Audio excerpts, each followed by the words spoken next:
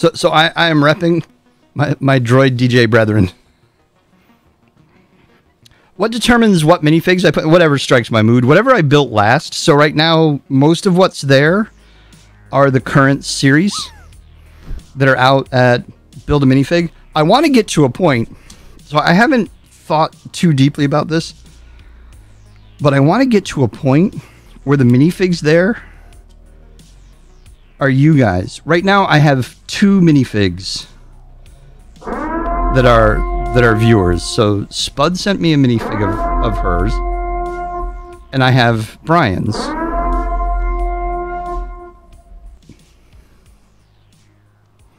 And eventually, I want those two, and then others to kind of grow. But I, I'm going to end up moving that camera and take it out from under the microphone and all that, and put it somewhere where it's like its own display.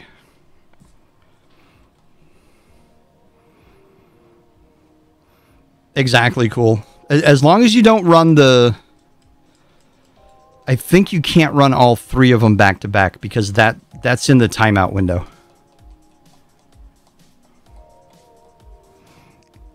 All right, so here we go. Florida man. Three headlines, two are true, one is false. A, Florida. You know, there's a lot of Florida women on this. I don't feel that it's fair that it's called Florida man. A. Florida woman accidentally sells priceless violin at a garage sale. I mean, we've all done that. B. Florida woman arrested for defacing Florida courthouse with graffiti of broken hearts. Divorce court, man. it will mess with you.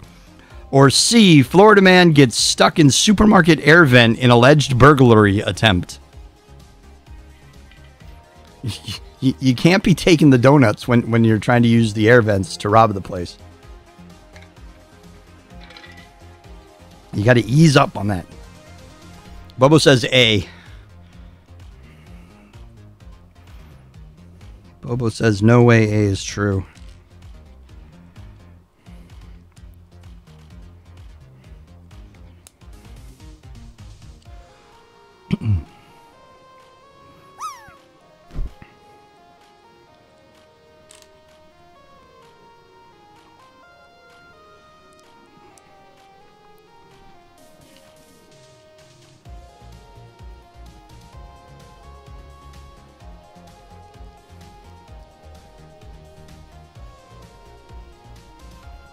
All these erudite folks with their capitalization.